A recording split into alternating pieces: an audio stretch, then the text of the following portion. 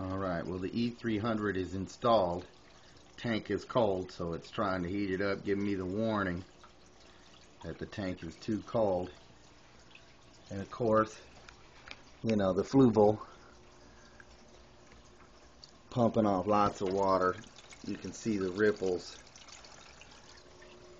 Amazing, quiet little machine. I love it.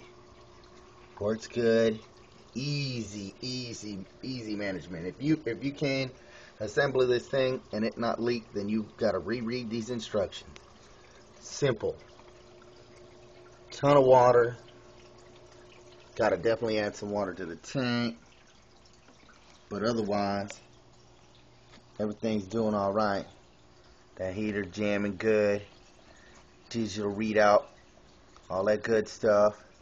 Got to put it next to a good source of water flow, so I put it next to the intake for the freaking filter. That way it can get lots of flow over it. Check it out sometime. When I get the tank cleaned up a little bit more and the lights are on, I'll get a better video.